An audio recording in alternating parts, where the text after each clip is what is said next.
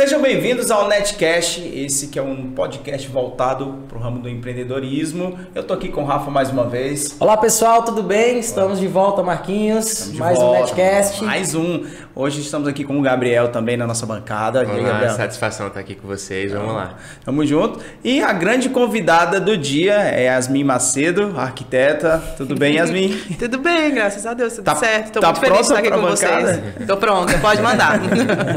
Antes da gente começar, pessoal, eu gostaria de agradecer muito a audiência de todos vocês, e tanto na Rede TV quanto no YouTube. Né? A gente está tendo um feedback muito bacana. Realmente o Netcast está conseguindo cumprir o seu papel, né, que é a gente de uma forma descontraída trazer um pouco sobre essa loucura que é o mundo do empreendedorismo, mas a gente está conseguindo, né, Rafa? Graças a tá Deus tá e graças a vocês que nos assistem também. É isso. Lembrando que o Netcast ele é um programa que tem seus patrocinadores também. A Lumos Filmes, que é aqui, ó, onde a gente está gravando esse estúdio, é uma das nossas patrocinadoras. Temos também o Santos Sistemas Construtivos, não é isso, Rafa? Isso mesmo, a Santos Sistema Construtivo está com a gente, parceiraça aqui do Netcast desde o início e vai ficar, né? Né? Por favor. É, não, vai continuar, né? Vai continuar, né? E se você também está assistindo empresário, quer ativar sua marca aqui dentro do podcast, é só entre em contato com a gente pela nossa rede social, pelo nosso é, canal no Instagram, no arroba networkbase. É isso aí. Então, feitas as devidas aberturas, vamos começar então nosso bate-papo com a Yasmin. Yasmin que é arquiteta, né? Isso aqui, Yasmin. É isso aí, que sou arquiteta, mas que principalmente sou mãe. É, e tem muita coisa para acontecer aí, coisa. meu Deus do céu.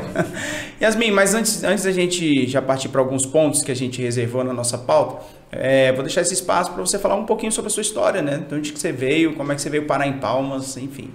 Ah, então, eu cresci no interior. Palmas é a maior cidade que eu já morei na minha vida. Uhum. E eu vim para cá por causa da faculdade, né? Então, morei em Barrolândia muito tempo, cresci dentro do material de construção. Tive dois treinadores maravilhosos que são meus pais. Então, meu pai realmente me treinou para essa situação mais comercial, empresarial, e minha mãe para uma inteligência emocional. Pelo menos assim o que eu pude captar, eu fiz, né? Mas ela é a mulher mais sábia que eu conheço. E é, vim para Palmas para fazer a faculdade. No meio tempo casei, tive meus filhos, né? Sou mãe de três rapazes incríveis. E agora, com esse perfil um pouco mais empreendedor, mais empresário, estou aí tentando né, fazer minhas empresas emplacarem e ter resultado a partir delas. E, mas, mas por que arquitetura ao invés de engenharia civil? Já que, já que você você estava no ramo da construção, né? Seu pai, pelo que você falou uhum. aqui, você, eu tô te conhecendo aqui agora também. É, já que você falou que seus pais tinham loja de materiais de construção, mas por uhum. que que você foi mais para a parte estética do, ou mais do bruto do cálculo que é a engenharia Por causa civil? do ar condicionado. e foi a minha mãe que me induziu dessa forma. Ah. Eu não escolhi minha profissão. Eu sempre cresci na, no material de construção, sabia que isso seria uma realidade. Eu adoraria ter feito engenharia. Eu comecei engenharia civil na UBRA. Ah. Passei no vestibular e tudo mais. E foi um vestibular junto com o de arquitetura. Só que a minha época do vestibular, da arquitetura, foi quando abriram uma lote antes da prova. E aí tiveram que refazer, remarcar ah. tudo. Então eu tive dois meses, três meses ali de engenharia. E depois vai pedir pro seu pai. Você uhum. permanecer lá na UBRA tendo um vestibular passadinho da UFT, entendeu? Entendi. Não deu certo. Aí minha mãe ficava, minha minha filha, pelo amor de Deus, faz arquitetura, você vai ficar no ar-condicionado. Ah, meu Deus. Na engenharia você vai ficar na obra, não sei o quê. Mal sabia Mal ela. sabia que, que esse ar-condicionado não é assim, não. É verdade. Em Palmas até disso. que faz sentido, Sim. Não é? Não é? E aí, por causa do ar-condicionado da minha mãe, eu não teimei, né? E fui fazer arquitetura na UFT. Pois muito bem. E aí você tem, pelo que a gente estava vendo aqui na, nos bastidores, você tem uma empresa chamada Três Creative, é isso? Isso. É uma, uma empresa, é um modelo de negócio? O que, que é isso? Explica pra gente. O Três Creative, ele é um coworking, né? A gente trouxe, aqui em Palmas já está sendo explorado há um tempo o modelo de coworking, mas lá a gente tem uma necessidade diferente que é realmente gerar essa contribuição entre as pessoas que estão lá dentro. Então, o coworking ele é direcionado para construção civil. Ah, a gente entendi. tem vários arquitetos, tem engenheiros, tem marceneiros lá dentro e acaba que vai gerando negócios dentro do, do próprio coworking. É nichado, então. É nichado. Vai, foi, já foi agência pra lá? Já foi agência pra lá, né, Amora? É, então, né? Isso é Mas... é engraçado quando a gente foi fazer o nosso projeto, foi a Yasmin que fez. E a gente falou, Yasmin, a gente vai ficar sem casa, porque a gente vai sair do escritório que a gente tá em dezembro, o nosso vai ficar pronto depois de três meses. Ela, não, é. quem disse que não ficar sem escritório? Tem um três criativo, então vocês ficam lá. E a gente ficou lá durante dois, três meses, Foi. hospedado lá e tudo, e realmente é uma dinâmica bem diferente, todo mundo se ajuda. E é muito nichado para a construção civil. O que está acontecendo agora com os médicos aqui em Palmas, vocês viram lá na 41, né, na frente do ITOP, uhum. o Três Criativo já faz há dois anos. Há um ano e meio. Um ano e meio. É, tamo aí. Então, não é por acaso, né? Esse tipo de nichar mercado e tudo, ele já vem fazendo. Acho Isso. que é interessante. É, a gente quer cada vez mais pessoas criativas lá dentro, né?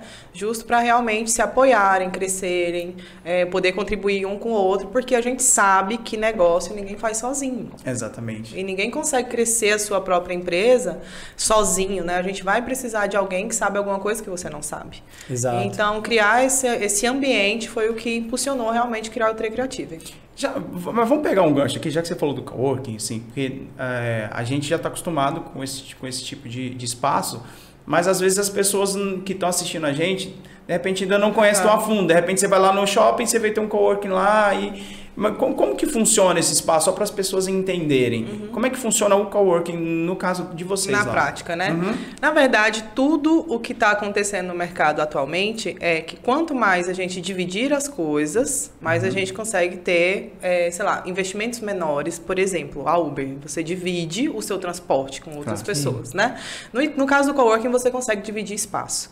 Nesse espaço, e aí falando especificamente do Tre Creative, a gente consegue receber e inúmeras empresas, seja de forma física ou de forma virtual, porque você pode ter, por exemplo, ah, uma empresa de São Paulo precisa de um endereço comercial em Palmas. Pode locar seu endereço comercial lá. Então fica tudo certinho e a pessoa tem essa possibilidade de receber seus clientes lá. Você tem um espaço físico com bancada, é, climatizado. Você não se preocupa com nada. É como se fosse assim, cara, vou alugar um escritório, é isso? Você vai alugar um escritório, mas você não vai se preocupar com um cafezinho, se tem, você não vai se preocupar se a faxina foi feita, você não vai se preocupar se tem internet, se, se a energia está ligada, porque uhum. esse é, é o nosso papel, né? De cuidar da experiência, da sua experiência dentro do espaço, como também dos seus clientes lá dentro. Então, inclusive, a gente tem o papel de uma pessoa que se chama gerente de felicidade. Uhum. O objetivo dele é deixar todo mundo bem atendido e feliz. É aquele né? negócio que a gente tinha falado de experiência, lembra no podcast com o Ricardo? Sim. Eu acho que é, entra muito nesse é. caso aí, de gerente de felicidade. Você gerar que a pessoa vai estar satisfeita ali. O tempo todo. Então, não é só uma coisa de, ah, eu fui lá e dividi um espaço, mas que você sabe que ali é a sua casa, é a casa da sua empresa, que tem a cara da sua empresa e que seus clientes vão ser bem atendidos, porque você tem esse suporte. A gente faz esse background da sua empresa lá. Então, só, para as pessoas, é, para a gente fechar, seria mais ou menos como a gente está usando aqui o estúdio da Lumos, né? É, a Lumos, ela ela disponibiliza esse estúdio aqui, a produtora, né, a produtora, e a gente tem, eles conseguem ser versáteis, né, assim, em questão de cenários, dar uma mudada e tal. Uhum. E a gente, por exemplo, ah, que surgiu a ideia de fazer um netcast, vamos fazer. Só que, tipo, nós não temos estúdio, não temos câmera, não temos nada. Mas aí o Rafael falou, falou não, mas tem uma galera que tem tudo. A gente tem. só traz o convidado, monta a pauta, Chega vem aqui, aqui, tá tudo pronto. Já tá tudo é pronto. É isso, e a aguinha a Jennifer né? trouxe. Então, sim. Tem água, tem um monte Ela é a gerente de felicidade daqui. É isso. E, e, deixa eu te fazer uma outra pergunta, porque como foi no início? Porque você está mexendo com algo cultural, às vezes sente aquele ciúme, poxa, eu vou levar o meu, meu cliente. Infelizmente ainda existe uhum. é, empresários com esse tipo de pensamento. Pô, vou levar meu cliente para o escritório da Yasmin. Uhum. É. Ah, então, justo por isso, essa é uma questão muito cultural mesmo. Quando eu fui fazer o, o Tri Criativo, eu já tinha participado de outro coworking aqui em Palmas como, como membro, né? Fui membro de outro coworking, então eu sabia a experiência do cliente já, né? Eu já tinha vivido essa experiência. E quando eu fui fazer o, o Criativo, eu fiz uma viagem para Curitiba e fiz uma investigação industrial. Cheguei lá, agora eles vão saber. Eu cheguei lá e comecei, não, porque eu vou me mudar para Curitiba. Uhum. E aí eu tenho um escritório de arquitetura e eu queria conhecer o que, como é que vocês podem me atender e tal. E me apresentaram tudo, tintim por tintim. Então eu vi o outro lado, né, de uma experiência de fora, de como é que funcionava. Só que lá. Pesquisa eles, de mercado, né? Importante para o empresário que está ouvindo. As referências, né? Exatamente. Referência. Então lá eles tinham uma experiência diferente da daqui que a daqui era esse compartilhamento do espaço, mas eles tinham lá essa questão que eu gosto, que é da experiência do, da troca, né? Lá é o Arcademy, é uma empresa específica, coworking específico para arquitetos. Do Rafael. Do Rafael, isso. E aí fui, fiz essa pesquisa, conversei com eles e tudo mais, né? E, só que lá é muito marcada a marca deles, é o Arcademy mesmo. Então, Uhum. eles não é o Arcademy, tem outro nome, agora eu esqueci. Mas é, tem tudo marcado deles, eles, eles têm uma linguagem muito específica no espaço. Para quebrar isso, que é cultural para nós aqui da região norte, o Tre Criativo ele é todo cinza e ele não tem logo em lugar nenhum.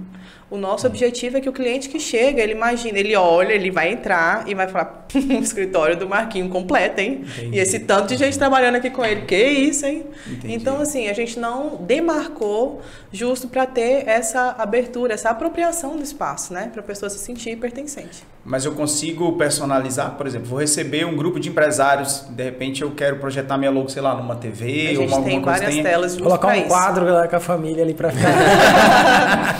que é bem típico. É uma coisa que eu nunca entendo, assim. Pega os equipamentos do Rafa, bota É, cima. isso. Eu, eu até entendo que a família é algo muito importante e eu supervalorizo isso. Só que eu não entendo é quando você chega num consultório médico tá cheio de foto da família do cara na praia, não sei aonde, não sei o quê. É que o médico não vê a família. É, só pode. É, tem que estar ali. Não, mas eu, eu, eu não tô sei se é isso. Eu tenho, eu, tenho, eu tenho um achismo em relação a isso aí. Mas pense bem, cara, geralmente quando você vai procurar um médico é porque você está passando por uma Uhum. situação complicada. Então você chegar num ambiente que você encontra foto de momentos felizes, de repente você meio que foge um pouco Legal. dessa. Porque o hospital já Pode tem aquele ser. cheiro, já tem aquele cheiro característico, a clínica já tem aquele. Já é um ambiente mais frio, né? Então você já chega tenso. Isso é um achismo, não tem nada, Não, é mas- um mas- achismo. Não, é uma Eu- sensação, é é uma importante sensação. você dizer, porque é a sua experiência lá. É. Eu vejo de uma forma diferente. Ah. Eu sei que do, ponto, do do ponto de vista de, de cliente é assim. Mas, por exemplo, eu cresci no material de construção, cresci na empresa do meu pai e lá ele não colocava fotos. Pisciana que sou, sentia super falta. Hum. Mas hoje eu vejo a pessoa que coloca uma foto, ela tá dizendo o porquê dela. Ela tá dizendo por que, que ela tá ali, por que, que ela tá Hum, trabalhando, por que, que ela acorda de manhã cedo, entendeu? O médico tá dizendo o porquê dos pontões dele. Não é só uma questão de. de- Mas eu citei Eu médico, falei- gente. Não, é só sim. como exemplo. É, e eu falei do de não ver a família só isso pra até estar aqui. em que Belo eu Horizonte, falei. mas eu acho que é por Eu isso. falei porque às vezes o médico tem tanto plantão, tudo, que é difícil você parar em casa e ver todo mundo. Então, sente uma saudade, é legal estar ali, pelo menos enquadrado com a família. Foi isso, né? pra não ficar. Ó, o pessoal que é Mas médico que tá assistindo tá no Pelo consultório. amor de Deus, eu tenho vários Isso. amigos médicos, gente, não é Eu isso? também, pelo amor de Deus. oh, meu Deus, mas é isso. Eu acho que tem a ver com o porquê da pessoa, né? Uhum. Ela tá ali te mostrando o motivo que ela acorda Legal. cedo. Três lógicas diferentes. Né? Tá vendo? É. Essa é a percepção que eu tenho. E é uma coisa que eu ainda não fiz, que eu sinto falta de fazer dentro do meu espaço. Porque aí, dentro do coworking, você tem a sua mesa, lá é o seu escritório, você vai fazer aquilo ali. Se você quiser que eu monte a sala de reunião com essa pegada também, a gente pega as coisas de todo mundo e bota lá. Entendi. Mas é uma coisa que eu também sinto falta de fazer, porque como mãe, divorciada, três meninos, homens, né? Três meninos, é, vendo que a mãe sai muito, que a mãe não está tão presente quanto poderia e deveria, né? É, eles têm que entender que esse esforço tem um motivo, e o motivo é eles, não tem outra coisa. Então eu acho que a foto tem essa pegada de Legal. enraizar. Legal. O, o arquiteto, vou falando um pouco da tua área, como é que você lida com essa situação de tipo assim, eu, eu chego com uma ideia, um conceito super moderno pro cliente e aí ele vai lá e desconfigura tudo. ele não entende nada da iluminação. Eu falo isso, sabe por quê? Porque eu passei por isso recentemente. É, no- na, na sala que eu fico, a- passou por uma reforma e a arquiteta mudou toda a iluminação do local. Eu achei super escuro. Mas ela vai me trazer um conceito, porquê da iluminação e etc. Como é que você lida com isso? Tipo, chegou o cliente, você pensou, você passou uma noite toda ali pensando no, no, no ambiente para ele, ele fala, não quero isso. Aham. Não, eu já quebrei muito cabeça com isso e parei de teimar. É, a gente estava até conversando antes, você falando sobre essa visualização dos espaços, né? Existe uma diferenciação entre espaço e lugar. Espaço é qualquer espaço realmente físico que você ocupa. Um lugar, ele tem uma referência de pertencimento. Ele é o seu lugar. Ele é o lugar da marca da pessoa, da empresa da pessoa. Ele é o lugar daquela pessoa, daquela família. A gente hoje, depois de 10 anos, quebrando muita cara, se propõe a criar lugares no mundo. Então, eu não faço nada que você não me disse que você queria.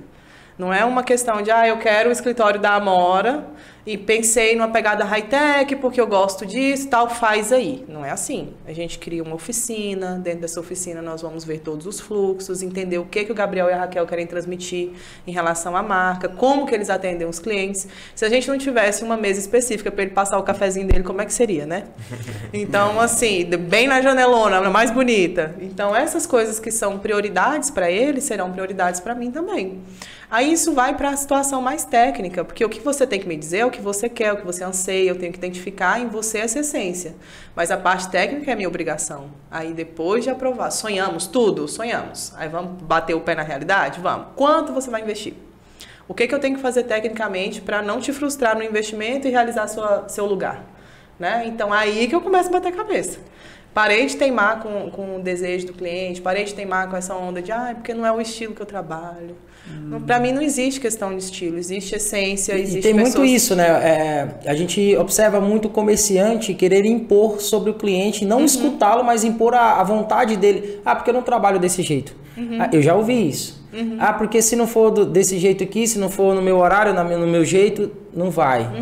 Uhum. E eu acredito que não seja por aí. Poxa, o cliente também tem o direito de expressar a opinião dele. Ele, aliás, é ele que é que está pagando pelo, pelo teu serviço. É ele que vai usar, né? Exatamente. Ele é o centro de tudo. Se você não coloca o cliente no centro, você não criou uma experiência, você não criou um processo inteligente, você não tem uma empresa que é validada, mas não que, tem produto. Mas, mas eu acho também que sim, é, além do, do, desejo do cliente ser atendido, mas também tem que ver o que, que vai ser funcional para ele. Vou trazer sim. mais uma vez um exemplo aqui. Supon, suponhamos que alunos te procurem e você vai desenvolver o projeto aqui do estúdio. Certo. Aí, ah, eu quero um revestimento assim, assim, assado. Aí, aí você fala, cara, é bonito, mas não é funcional. Uhum. Aí como assim? Por exemplo, as pessoas não vão conseguir assistir aqui, mas onde o piso que a gente está usando aqui é todo carpetado. Uhum. A gente tem uma cortina ali, que são alguns elementos mais porosos, e isso ajuda a tirar um pouco da, da reverberação acústica. Do, da acústica. Então, assim, mas às vezes o cliente quer um porcelanato polido porque é mais bonito da estética, só que aquilo lá vai ressonar bastante. Aí você tem que ir lá e explicar para ele, tecnicamente, isso. por que, que ele tem que fazer. Nessa né? hora dessa e oficina. Opções, né, também. E dá opções. Nessa hora dessa oficina que acontece isso. Eu deixo a pessoa sonhar e me dizer, me dizer, me dizer, me dizer. Só que lá a gente tem que definir também. Não vai sair nada de lá sem definição. E depois vou colocando. Tem certeza que você quer por causa disso, disso, justo essas justificativas que você deu, né? Então a gente vai orientando para melhor realização. Se a pessoa disser, mas eu quero, então, beleza, você quer. então, depois a gente vê. Mas você quer, então vamos colocar. Me diz uma coisa. Então, já que você falou isso, e quando o cliente bate no pé, ele bate o pé e fala assim, eu quero assim, mesmo que passe por alguns princípios ou pilares da arquitetura, que eu não uhum, sei como é que uhum. funciona isso, você ainda tem coragem de deixar o seu nome no projeto ou você prefere recusar? Na verdade, esse comprometimento assim, com. Uai, mas é porque assim. É, é, é porque aquilo é... lá. É porque assim. Alguém pessoas... traz um, um gás sobrou bem aqui. Não, mas é porque assim, ó. É porque as pessoas não entendem. Por mais que seja um escritório, um, um cliente X, mas ali tem a tua assinatura. Sim. Uhum. Então, de repente, isso serve até como portfólio e currículo teu. Sim. De repente é um escritório super renomado, mas ali a, na parte de arquitetura você vê que teve uma falha. Uhum. E o teu nome está incluso naquilo ali. Sim. Entendeu? Então, qual, até quando você permite isso e até quando você fala, cara, eu prefiro não assinar. Eu falo isso porque minha irmã é engenheira civil. Uhum. E já teve, já teve obras dela, de, delas pagarem para ela executar e chegar lá a, a, mão de obra chegar e executar errado. Uhum. Ela falou assim, então pode tirar meu nome do projeto, eu tô fora, esse projeto não é meu, tal. Ela falou assim, uhum. não, mas não, é meu nome, se essa obra cair aqui, meu irmão, é. é. meu nome. Não, mas a gente tem vários suportes em relação à responsabilidade técnica, tanto do CREA como do CAL, né, em relação a isso. Um contrato também, a parte, nós estamos falando da parte mais poética, né, uhum. mas a parte mais gerencial do, desse atendimento, ele também é amarrado em relação a isso. São coisas que são, quando, são limites, que a gente tem que definir se a gente quer passar ou não, né? Eu não digo para a pessoa, então não vou assinar seu projeto, mas oriento ao máximo, oriento ao máximo, oriento ao máximo. Aquilo ele vai, numa hora a pessoa vai ceder. Né? É uma questão também de, de ter empatia, entender, descobrir o porquê que está teimando. né? As pessoas têm uma. Aquilo tudo vem de uma raiz. Então, entender de pessoas também faz parte. Mas até hoje não aconteceu nada que a gente tivesse uma demissão de clientes. Eu acho que, não sei se a maioria dos prestadores de serviço que estiver assistindo a gente já passou por isso ou conhece a possibilidade de demitir um cliente, né? Então, o seu contrato ele resguarda duas pessoas, o outro e você né? Justo para não acontecer essas experiências. Mas a gente tenta ao máximo. E eu tem já, dado eu certo. já demiti cliente. Aí. Esse Rafael é terrível. Né? Mas é, mas é assim, é justamente isso que o, que o Marcos falou. É, existe um- um- uma linha até onde você pode ir. E, e às vezes o cliente encontra ou já encontrou um outro prestador de serviço que ele já fez o, que o cara queria. Ah, mas fulano de tal faz. Então dá vontade de falar pra ele. Ah, Então vai- faça com faça ele. Então, nossa, amigo. É, porque assim, existem te- coisas morais que você precisa se atenar a isso, né? Licitude, todo esse processo, e no teu caso, segurança também. Sim, total. É. E É. saúde. Então, Mental, principalmente. Saúde mental, psicológica, oftalmológica, ergonomia. a- tudo. a- e eu te faço uma pergunta: até onde é, deve ir para agradar o cliente? Porque a gente fica muito nessa, poxa, tem que servir, tem que ter uma experiência boa para o cliente e tudo mais, mas até onde se cede para que o cliente fique à vontade de, de, de fechar com você ou com algum tipo de profissional? Eu falo isso genericamente, não só Sim. do lado empreendedor da, da Yasmin aqui, não só da, da arquiteta Yasmin. Certo. Eu acho que o ponto principal é a gente colocar o, o cliente no centro. E eu não estou falando só de personas que você criou e que você quer atender seu objetivo. Não, aquela pessoa individualizada, ela está no meio. Né? E você tem que, primeiro, quando a pessoa tem um interesse, não é assim, ah, eu quero fazer uma área gourmet, vamos fazer, ah, não, vou lá medir, pronto, deu certo. Não é isso. Vamos fazer uma reunião, quero te conhecer, quero contar como é que eu trabalho, vamos ver se dá um match, né? Depois desse match é que você realmente vai lidar com outras questões, mas nesse momento você tem que entender tudo. Saber pelo que que você está passando, o que que a pessoa está passando, da onde vem o desejo dela, da onde vem as referências dela. Então, o primeiro passo para qualquer empreendedor, para qualquer pessoa que queira mexer com gente, é entender de gente. Não tem como, né? E se você está disposto a criar processos e produtos diferentes para as pessoas, elas vão entender. Hoje na arquitetura existe um conceito que está sobressaindo a qualquer outro tipo de estilo, de conceito de estilo, que é a neuroarquitetura. É justo isso, colocar a pessoa no centro, entender até onde ela precisa da sua ajuda, cobrar por isso, óbvio, mas entender que os seus processos vão ser adaptados. Hoje em dia, a, a gente consegue escolher até a playlist da empresa. A gente consegue até saber aonde que vai ter uma velinha aromática acesa. Porque a gente quer gerar um sentimento dentro daquele espaço para gerar o pertencimento. E não só, ah, eu vou colocar uma luz bonitinha que vai dar um ponto aqui nessa, nesse revestimento e tal. Isso já caiu por terra. A gente sabe que não funciona. Né? Então, essa predisposição do seu trabalho, o seu cliente tem que entender. Ele não está contratando um arquiteto. Ele está realizando um desejo da vida.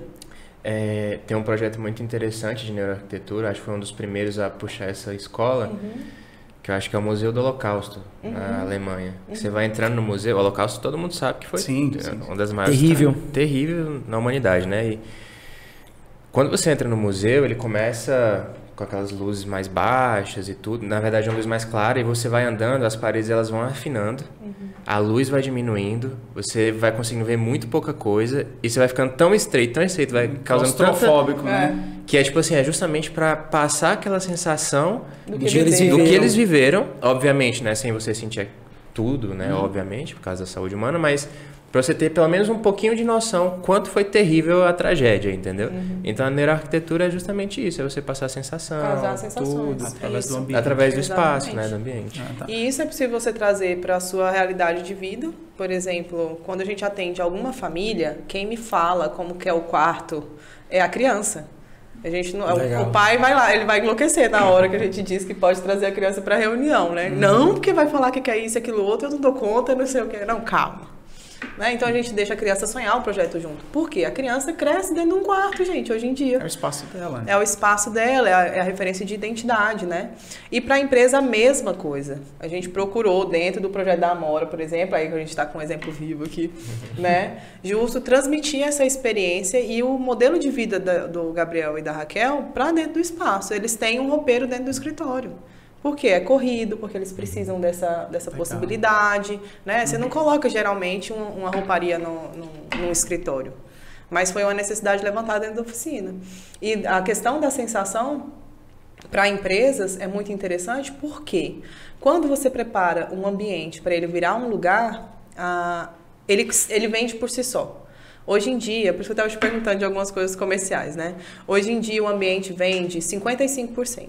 Depois, a sua imagem pessoal vende mais uns 35. E aí eu sou péssima de matemática, então o que sobrou é o que você fala, né? Então, por isso não foi engenharia, foi Por isso que eu fiz arquitetura, não foi só o ar-condicionado. Mas, na, na, quando você tem a oportunidade de defender o seu trabalho, você já passou por dois julgamentos. Um deles, e o principal, é o espaço.